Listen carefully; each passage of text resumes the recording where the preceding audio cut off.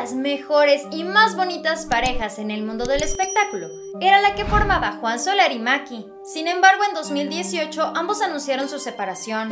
Pero ahora la revista TV Notas sacó tremenda noticia asegurando que los acaban de captar juntos. Parece ser que en una entrevista que le hicieron a un amigo muy cercano a la expareja, se afirma que ellos no solamente están teniendo fuertes convivencias por el bienestar de sus hijas, sino porque al parecer se podrían dar una nueva oportunidad de estar juntos. Al parecer, ambos se han vuelto muy buenos amigos desde que se separaron. Por sus hijas, ambos llevan una muy buena relación. Y hasta el fin del mundo, ellos seguirán siendo una familia, porque tienen hijos en común, aunque ambos sentimentalmente ya no tengan nada. Sin embargo, esta persona aseguró que aquí hay gato encerrado. Con sus propias palabras, en la entrevista mencionaron. Juan y Maki vivían cada quien por su cuenta en el poniente de la Ciudad de México, ella con las hijas de ambos y él solo.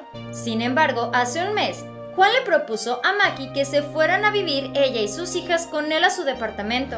Ahora que sus hijas ya están viviendo la adolescencia, Juan Soler no se quiere perder esta etapa tan maravillosa de las niñas, pues más adelante van a crecer, se van a independizar y no van a querer saber nada de sus padres como típicos adolescentes. Independientemente de eso, esta persona comentó que Juan le dijo a Maki que mejor para ahorrarse un dinerito, en vez de tener dos departamentos rentados, que se fueran a vivir todos a uno solo. Obviamente Maki es una mamá que está procurando todo el tiempo a sus hijas. Ella quiere lo mejor para ellas. Además de esto, en la entrevista se mencionó. Al final de cuentas, Maki sí tuvo dudas, porque Juan no le propuso regresar como pareja.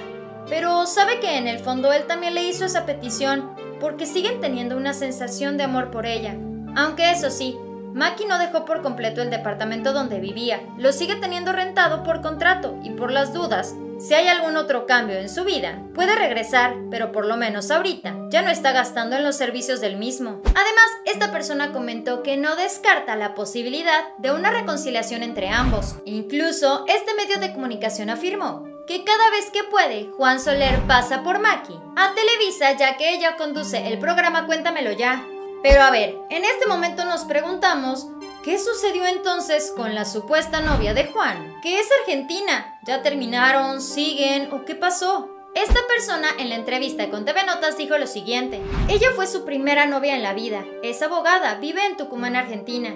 Pero es muy difícil una relación a distancia. Eso no ayuda. Y más teniendo a su lado a Maki, que sabemos que para ella él es el amor de su vida. Juan tal cual no sigue con la Argentina, siguen en contacto, porque él no se ha decidido a proponerle a Maki que regresen. Pero esto ya es un hecho, porque al parecer Maki volvió a sentir maripositas en el estómago por Juan.